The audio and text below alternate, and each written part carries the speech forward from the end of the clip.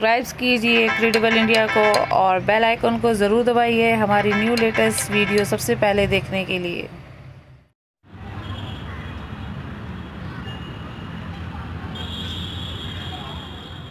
Welcome back my YouTube channel Credible India और मैं हूँ आपके साथ आपकी दोस्त नफीसा खान। तो मैं आई हूँ आज राजघाट।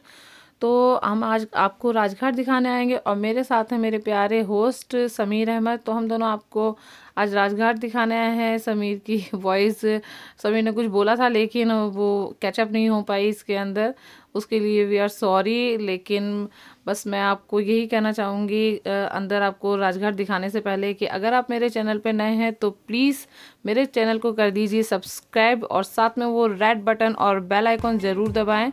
उससे आपको मेरी वीडियो की नोटिफिकेशन मिलती रहेगी। और अगर आपने पहले से ही मेरे चैनल को सब्सक्राइब किया हुआ है तो उसके लिए बहुत बहुत शुक्रिया। और मुझे बहुत अच्छा लगता है कि आप लोग मेरी वीडियो वॉच करते हैं, मेरी वीडियोस को लाइक करते हैं तो मुझे बहुत ही ज़्यादा हौसला मिलता है। और मैं एक नकाबी गर्ल होने के बावजूद आपके लिए इतनी अच्छी वीडियोस बनाती हूँ तो मेरे हौसला बढ़ाने के लिए बहुत बहुत शुक्रिया। तो चलिए चलते हैं अंदर। तो जैसे कि आप देख रहे हैं कि आपने मैं पहले देखा वीडियो में कि एक छोटा सा कॉर्नर टाइप का कुछ बना हुआ है। वहाँ पर अक्सर क्या होता है कि जब हम अंदर एंट्री करते हैं, समाधि देखने अंदर जाते हैं तो हमें अपनी चप्पलें जो हैं वो वहाँ पर उतारनी होती हैं, क्योंकि यहाँ पे जूते चप्पल पहनकर अंदर जाना अलाउड नहीं है और इस तरह से कुछ अंदर जैसे हम जाते हैं तो ये कुछ श्लोक्स, बहुत अच्छी बातें हैं कुछ यहाँ पे लिखी हुई हैं। तो और आप इस तरह से मेरी वीडियो में देख सकते हैं कि कितना यहाँ पे जो कि माहौल है, बहुत ही शांत है। चिड़िया भी जिसे चह चाहती हैं तो वो भी साउंड उसका काफ़ी एकदम क्लियर ही हमें सुनाई देता है। बहुत ही अच्छा है, काफ़ी हरियाली है।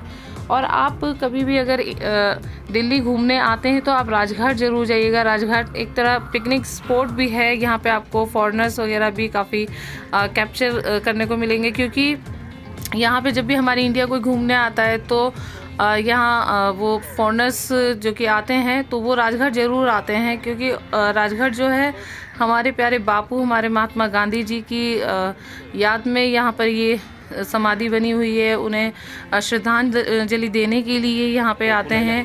और जैसे कि आप मेरी वीडियो में देख रहे हैं कि जो, ये जो समाधि बनी हुई है, वो एक ब्लैक कलर के मार्बल से बनी हुई है, और इसमें यहाँ पे, हे राम लिखा हुआ है, और मैं आपको बस ये बताना चाहती हूँ कि हेराम जो यहाँ पे लिखा हुआ है, वो इसलिए लिखा हुआ है क्योंकि उन्होंने अपनी अंतिम साँसें लेते हुए हेराम बोला था।